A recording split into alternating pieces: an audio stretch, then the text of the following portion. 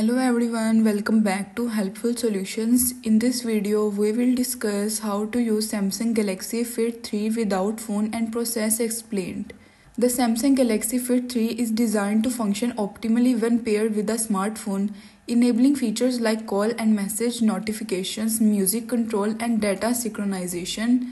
While it can operate independently for basic functions such as tracking steps, heart rate, and workouts, certain features require a connection to a smartphone. Using Galaxy Fit 3 without a phone. Number 1. Basic fitness tracking.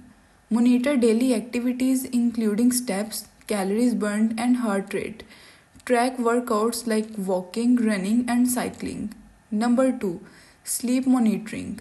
Record sleep patterns including sleep stages and blood oxygen levels. Number 3. Water resistance.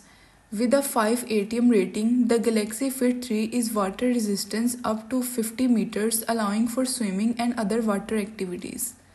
Limitations without a phone. Notifications. Cannot receive call, message or app notifications.